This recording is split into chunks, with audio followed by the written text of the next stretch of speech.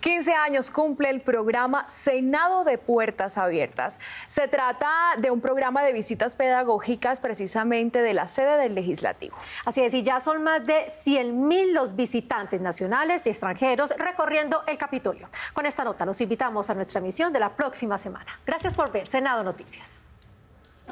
Más de 100.000 visitantes han disfrutado en los últimos 15 años de un recorrido por el Capitolio Nacional, sede del Congreso de la República.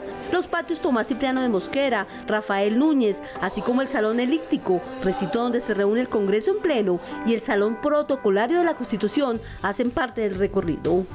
Para celebrar los 15 años de este programa llamado Visitas Guiadas, Jornada de Puertas Abiertas, 300 estudiantes fueron invitados. He conocido cómo se manejan las leyes y también he conocido más sobre la historia de Colombia. Los futuros profesionales, quienes algunos aspiran a ser congresistas, adquirieron conocimiento sobre el funcionamiento del poder legislativo. Lo que ves por televisión es muy diferente a lo que ves aquí estando en el Congreso.